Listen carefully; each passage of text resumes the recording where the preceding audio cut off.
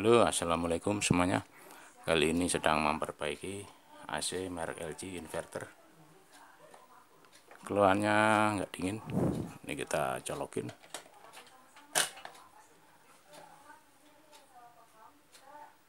Ini tadi posisinya sudah nyala.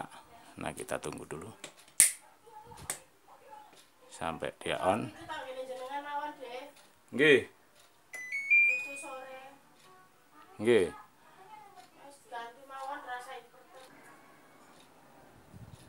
Ini dia uh, sudah terbuka cupnya. Eh apa? Fan swingnya.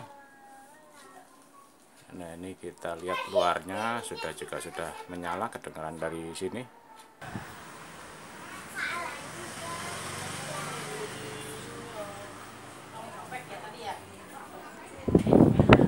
ini dia blowernya nyala tapi kompresornya nggak mau hidup. Nah dia sekarang posisinya mati. Dan lampu indikatornya berkedip. Kita hitung. Satu dua spasi. Satu dua tiga empat lima enam. Enam dua spasi enam dua enam CH dua enam CA26 kemungkinan besar PCB-nya ini error bermasalah. Tadi sudah beberapa kali coba kita refresh, kita matikan saklarnya, kita hidupin lagi, gitu terus berulang-ulang.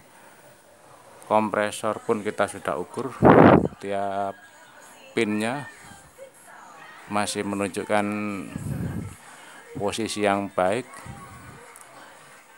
dan di sini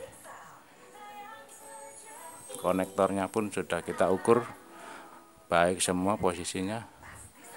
Jadi kemungkinan dan yakin kerusakan ada di PCB nah itu kita cari dulu gantinya.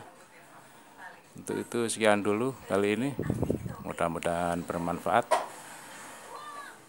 Bagi yang belum subscribe silahkan subscribe dulu.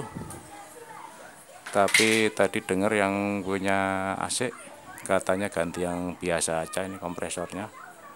Karena udah males katanya udah bolak-balik mengalami error seperti ini.